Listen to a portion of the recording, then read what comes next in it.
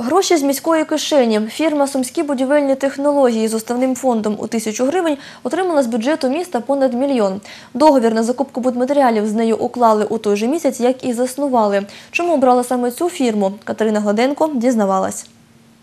Департамент інфраструктури міськради з березня цього року перерахував товариству «Сумські будівельні технології» майже мільйон 400 тисяч гривень.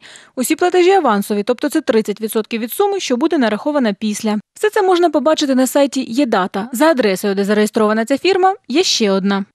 Це будинок 29 на вулиці Жовтневій у селі Червоному. Саме за цією адресою зареєстровано дві організації.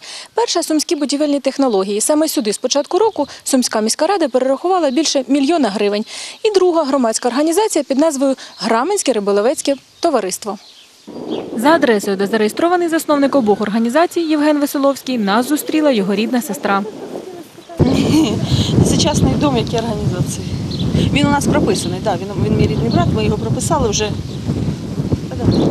Ми з ним не общаємося взагалі. Ну, так вийшло у нас.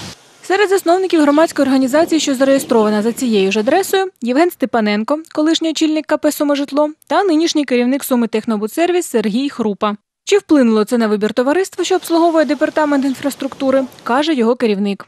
Ні, це ніяк не вплинуло. Напевно, по деяким адресам е, звернулася і ця фірма.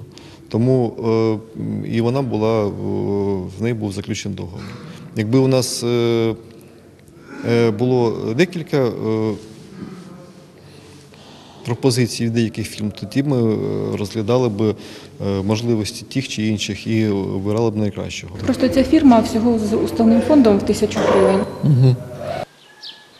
Катерина Гладенко, Олександр Гордус та Сергій Мілевський. На часі новини. Євген Степаненко та Сергій Група у телефонній розмові свою причетність до фірми «Сумські будівельні технології» заперечили. Озвучити це для ефіру відмовились. Отримати коментар Євгена Василовського нам не вдалося.